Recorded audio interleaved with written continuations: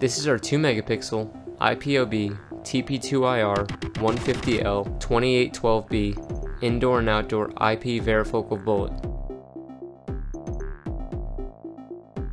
This camera is capable of capturing crisp 1080p footage and has a 2.8mm to 12mm manual zoom lens. It also has built-in infrared, allowing you to see up to 150 feet away in complete darkness. The camera can be powered by either 12 volt DC or PoE. This camera can be hooked up to an NVR, or you can have it record to a regular USB flash drive. Please note that this camera must be connected to one of our NVRs or tribrids in order to use the PSS software.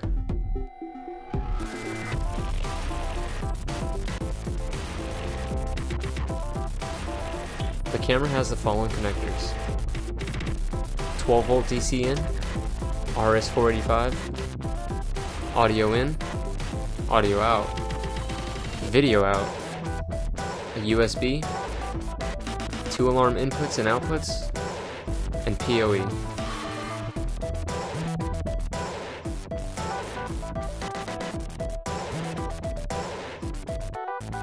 Also included in the box is a manual, a mounting template, a software disk, mounting screws and pegs, a double male BNC connector, a cover opener, a weather gasket, and two Allen wrenches. For more information, subscribe to our channel and visit our site.